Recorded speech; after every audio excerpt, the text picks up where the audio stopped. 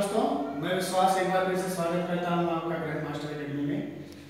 आज मैं आप लोगों के लिए क्लास फोर्थ की बहुत इंपॉर्टेंट चैप्टर से लेकर आया हूँ, जिसका नाम है डी मास ये बॉड मास का अभी स्टार्टिंग बेस होता है।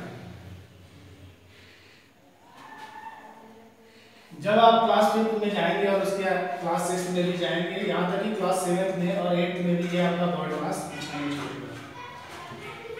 बॉड मास का मतलब क्या होता है? फॉर होता है bracket O for of D for division M for multiplication A for addition और एस फॉर सब्ट्रैक्ट यहाँ पे हमें ब्रैकेट और ऑफ़ नहीं करना है। क्लास फोर्थ में केवल चार चीज़ें मिलेंगी आपको करने के लिए।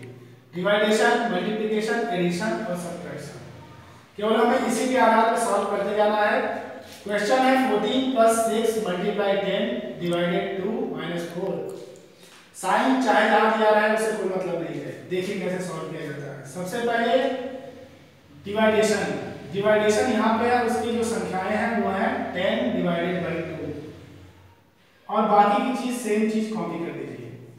10 को 2 से डिवाइड करेंगे 5 आ गया।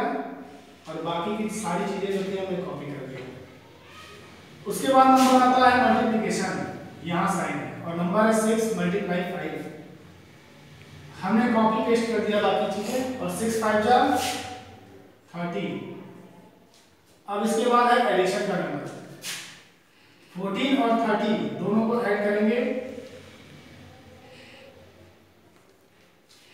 और एट लास्ट सब्ट्रैक्ट 44 में से 4 माइनस किया आंसर आ गया.